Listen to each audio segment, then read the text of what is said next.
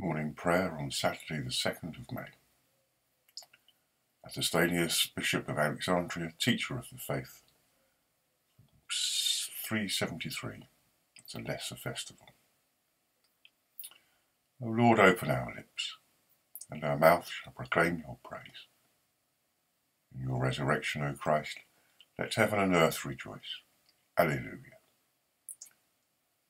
Blessed are you Lord God of our salvation. To you be praise and glory forever.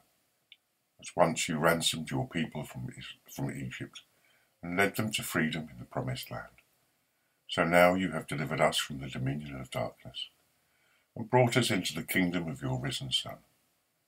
May we, the first fruits of your new creation, rejoice in this new day you have made.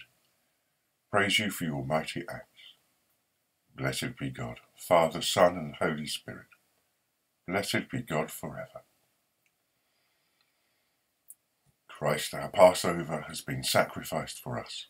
So let us celebrate the feast, not with the old leaven of corruption and wickedness, but with the unleavened bread of sincerity and truth. Christ, once raised from the dead, dies no more. Death has no more dominion over him. In dying, he dies to sin once for all. In living, he lives to God. See yourself, therefore, as dead to sin and alive to God in Christ, in Jesus Christ now, Lord. Christ has been raised from the dead, the first fruits of those who sleep. For as by man came death, by man has come also the resurrection of the dead. For as in Adam all die, even so in Christ shall all be made alive. Glory to the Father, and to the Son, and to the Holy Spirit, as it was in the beginning, is now, and shall be forever. Amen. The night has passed, and the day lies open before us. Let us pray with one heart and mind. As we rejoice in the gift of this new day, so may the light of your presence, O God, Set our hearts on fire with love for you, now and forever. Amen. Psalm 108 My heart is ready, O God, my heart is ready. I will sing and give you praise. Awake, my soul, awake, harp and lyre, that I may awaken the dawn. I will give you thanks, O Lord, among the peoples. I will sing praise to you among the nations. For your loving kindness is as high as the heavens, and your faithfulness reaches to the clouds. Be exalted, O God, above the heavens, and your glory all over the earth. That your beloved may be delivered. Save us by your right hand and answer me. God has spoken in his holiness. I will triumph and divide Shechem and divide out the valley of Succoth. Gilead is mine, and Manasseh is mine. Ephraim is my helmet, and Judah my sceptre. Moab shall be my washpot. Over Edom shall I cast my sandal. Across Philistia will I shout in triumph. Who will lead me into the strong city? Who will bring me into Edom? Have you not cast us off, O God? Will you no longer go forth with our troops? O grant us your help against the enemy, for earthly help is in vain. Through God we will do great acts, for it is he that shall tread down our enemies. Glory to the Father, and to the Son, and to the Holy Spirit, as it was in the beginning, is now, and shall be forever. Amen. Reading from the Gospel according to Luke. After eight days had passed, it was time to circumcise the child.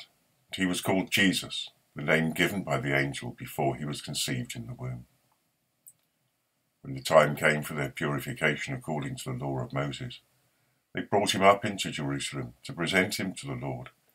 As it is written in the law of the Lord, every firstborn male shall be designated as holy to the Lord and they offered a sacrifice according to what is stated in the law of the Lord a pair of turtle doves or two young pigeons.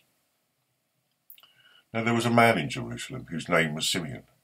This man was righteous and devout, looking forward to the consolation of Israel, and the Holy Spirit rested on him. It had been revealed to him by the Holy Spirit that he would not see death before he had seen the Lord's Messiah. Guided by the Spirit, Simeon came into the temple, and when the parents brought in the child Jesus to do for him what was customary under the law, Simeon took him in his arms and praised God, saying, Master, you are now dismissing your servant in peace, according to your word. For my eyes have seen your salvation, which you have prepared in the presence of all peoples, a light for the revelation to the Gentiles, and for the glory of your people Israel. And the child's father and mother were amazed at what was being said about him. Then Simeon blessed them and said to his mother Mary, This child is destined for the falling and rising of many in Israel, and to be a sign that will be opposed, that, that, so that the inner thoughts of many will be revealed, and a sword will pierce your own soul too. There was also a prophet, Anna, the daughter of Phanuel, of the tribe of Asher. She was of great age, having lived with her husband for seven years after her marriage then as a widow to the age of 84. She never left the temple, but worshipped there with fasting and prayer day and night. At that moment she came, and began to praise God and to speak about the child to whom all were looking for the redemption of, his, of Jerusalem. When they had finished everything required by the law of the Lord, they returned to Galilee, to their own town of Nazareth. The child grew and became strong filled with wisdom, and the favour of God was upon him.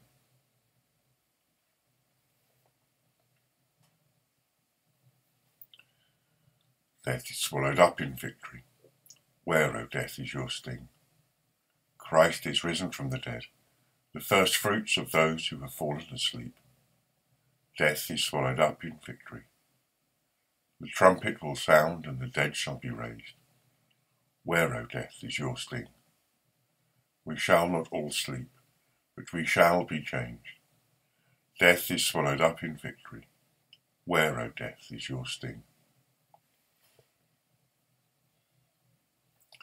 Those who are wise will shine as brightly as the heavens, and those who have instructed many in virtue will shine like stars for all eternity.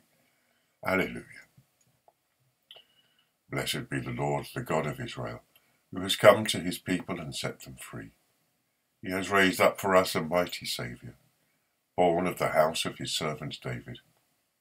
Through his holy prophets God promised of old to save us from our enemies, from the hands of all that hate us, to show mercy to our ancestors, and to remember his holy covenant. This was the oath God swore to our father Abraham, to set us free from the hands of our enemies, free to worship him without fear holy and righteous in his sight all the days of our life. And you, child, shall be called the prophet of the Most High, for you will go before the Lord to prepare his way, to give his people knowledge of salvation by the forgiveness of all their sins. In the tender compassion of our God, the dawn from on high shall break upon us, to shine on those who dwell in darkness and the shadow of death, and to guide our feet into the way of peace. Glory to the Father, and to the Son, and to the Holy Spirit, as it was in the beginning, is now, and shall be forever. Amen. Those who are wise will shine as brightly as the heavens, and those who have instructed many in virtue will shine like stars for all eternity. Alleluia. Let us pray. We pray for this new day. We give thanks. We come to the beginning of a day, ready and prepared. Give us the strength to carry out the tasks which we will do today, with love in our hearts and the Holy Spirit with us. Lord, in your mercy, hear our prayer. We give thanks for blue skies, for green trees, for the birds of the sky, and the animals of the ground. In this time of lockdown, God's nature is there for us to enjoy in times of peace and tranquility.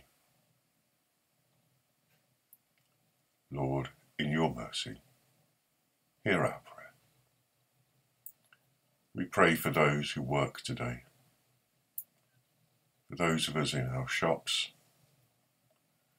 for those of us in our emergency services, for those in the NHS and care homes, for those carrying out jobs that are unseen but essential. Lord, in your mercy, hear our prayer. We pray that today those who are in despair and darkness may see the light of your love with them today. Lord, in your mercy, Hear our prayer. We pray for all of us that we stay home, we stay safe, and come to worship the Lord. Lord, in your mercy, hear our prayer.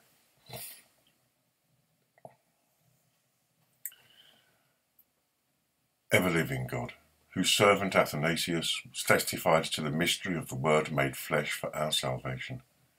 Help us with all your saints to contend for the truth and grow into the likeness of your Son, Jesus Christ our Lord, who is alive and reigns with you in the unity of the Holy Spirit, one God, now and forever. Amen. Rejoicing in God's new creation, let us pray with confidence as our Saviour has taught us. Our Father, who art in heaven, hallowed be thy name.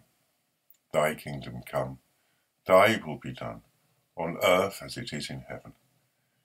Give us this day our daily bread, and forgive us our trespasses, as we forgive those who trespass against us. And lead us not into temptation, but deliver us from evil. For thine is the kingdom, the power and the glory, for ever and ever. Amen. May the risen Christ give us the joys of eternal life. Amen. Let us bless the Lord. Alleluia, alleluia. Thanks be to God. Alleluia, alleluia.